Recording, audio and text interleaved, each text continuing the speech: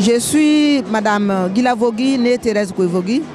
Je suis de la paroisse Saint-Joseph Ouvrier de Kaloum et je suis la vice-présidente de la fraternité Sainte-Élisabeth de la même paroisse. Aujourd'hui, c'est le 15 août. Aujourd'hui, c'est la fête de Marie.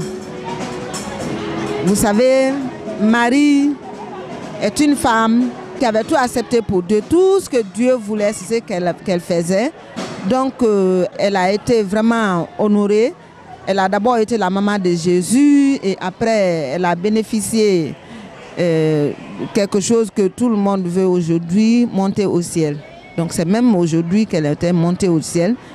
Donc, euh, on peut dire en quelque sorte, c'est l'anniversaire de sa montée qu'on fête tous les 15 août.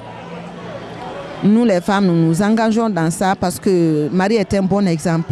Je profite de l'occasion pour souhaiter bonne fête à tout le monde et particulièrement à toutes les femmes de la Guinée et du monde entier.